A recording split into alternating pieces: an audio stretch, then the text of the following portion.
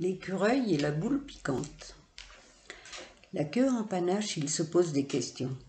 Il sautille et se cache. Quel petit fripon Il a vu une boule qui avance doucement. Soudain, elle s'enroule et s'arrête sur le champ. Très inquiet, il s'approche et voudrait bien toucher. Sautille et cabriole, tout fou, préoccupé. La boule reprend sa route. Qu'est-ce donc ce phénomène qui vient semer le trouble ici sur mon domaine? Au pied du conifère se trouvent ses cachettes. Rapide comme l'éclair, il enfouit une noisette. Puis d'un bond se retrouve en haut de la noisetière.